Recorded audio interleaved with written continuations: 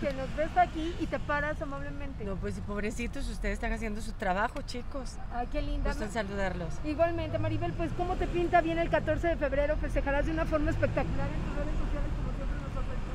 Pues a ver ¿qué, qué, tiempo nos da mi marido a mí de ir a festejar, porque como estoy con la novela y andamos, pero sí, para el amor siempre hay tiempo, alguna hora. Pues muchos dicen que no les da tiempo. A ver, cuéntanos, Maribel, si sí tiene y cómo lo festeja. Sí, no, mi marido y yo siempre tenemos tiempo para el amor, no por ser el 14 de febrero, sino porque siempre nos dedicamos tiempo, porque tratamos de compartir el mayor tiempo posible juntos, eh, porque nos queremos, nos respetamos.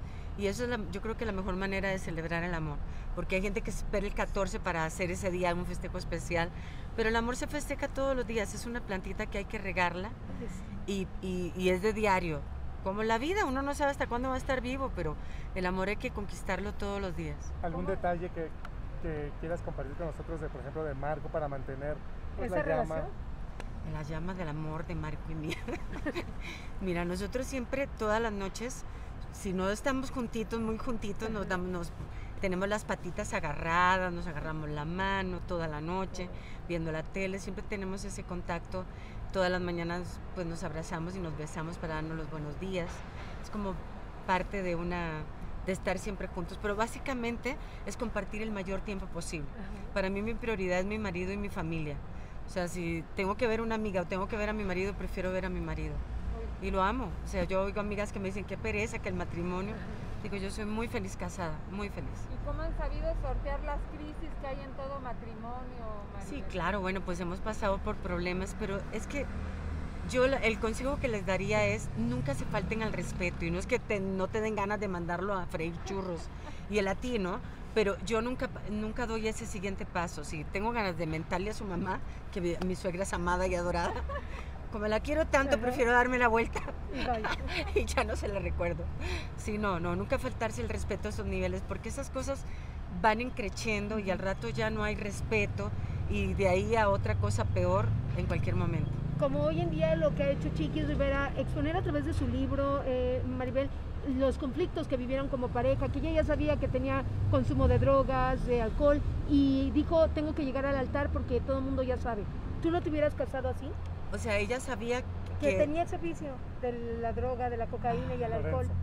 Pues, híjole, no sé, depende del amor. Si uh -huh. amas mucho a una persona, lo cierto es que las personas se pueden rehabilitar, ¿no?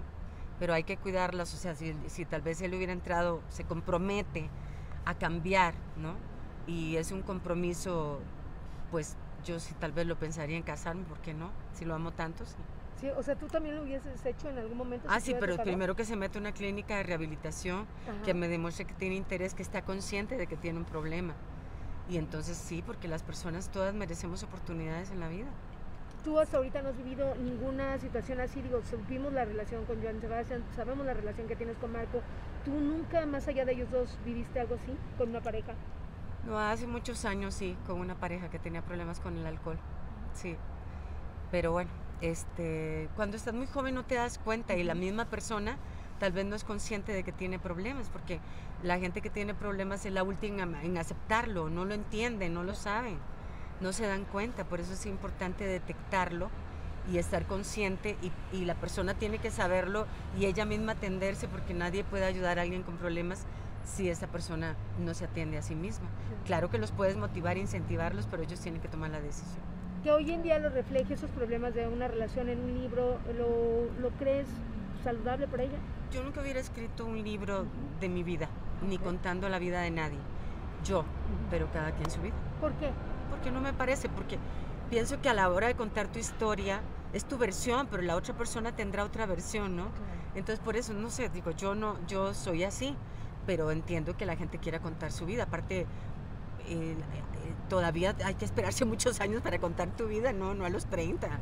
O sea, hay que esperarse a los 60, pues yo ya podría contarla, pero vivir muchos... para contarla, como decía García Márquez, ¿no? Claro. Su libro, que era muy bueno. Y que muchos desearíamos ver ese libro, porque Maribel, me imagino que hay historias que no nos has reflejado, a pesar de que eres un libro abierto con la prensa. Sí, no, pero no, yo nunca contaría mi vida. Ay, no, no hay que ser muy ególatra. Digo, en mi caso Ajá. sería mucha egolatría contar mi vida. Hablando de contar historias, pues está preparando la bioserie del señor Vicente Fernández. La producirá eh, Juan Osorio ah, y al parecer va a ser Pablo Montero. Muy bien, va a estar muy bien Pablo en ese papel. tan guapo, canta muy bonito. Me parece muy bien, les va a ir muy bien.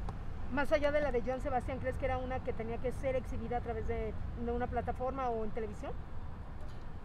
Sí, yo, bueno, las historias de estos ídolos, digo, las cuentan por encimita, ¿verdad? Porque ahí tienen tanto por contar y cuando uno la, yo la de Joan no la vi, no la vi porque, porque yo sé, yo sé muchas cosas que no estaban ahí, que digo, ay no, entonces uno se, yo me ¿No la siento personalmente, no, no la vi porque vi un capítulo y dije, no, no, pero No es.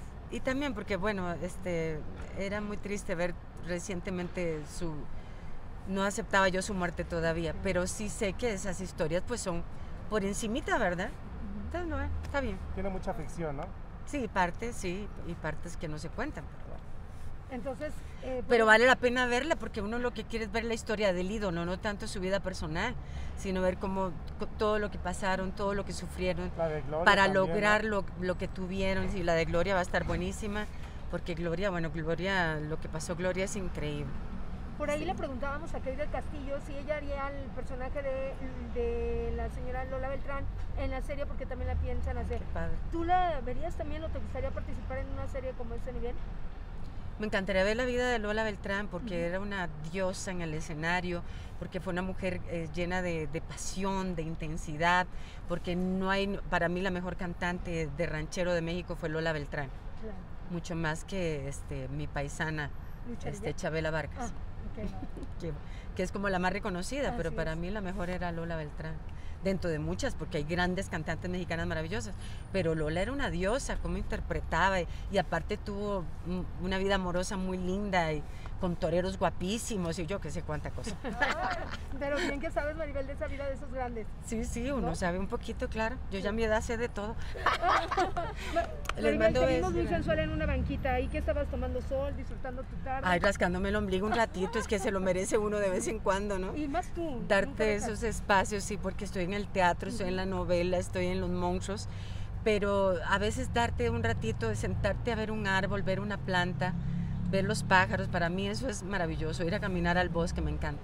Claro. Son pequeños regalos que te haces y que son, bueno, no tienes con qué pagarlos. Maribel, pues no me resta más que decirte felicidades este 14 de febrero y que venga lo mejor para esta pareja. Felicidades. Ámense ustedes, si no encuentran quien los ame, ámense ustedes, apapáchense, agárrense, tóquense, disfrútense, consiéntanse. El amor empieza por uno mismo. Y uno a veces tiene la expectativa de que alguien va a llegar a cambiar tu vida y que vas a ser feliz a partir de eso. No, tu felicidad empieza por ti mismo, búscala en ti. Y ya si te aparece ahí, pues qué rico, pero pues si no, no importa, hay muchas cosas para ser feliz y muchos aparatitos. ¡Ay! Maribel, ¿has usado paratito? Ay, bueno.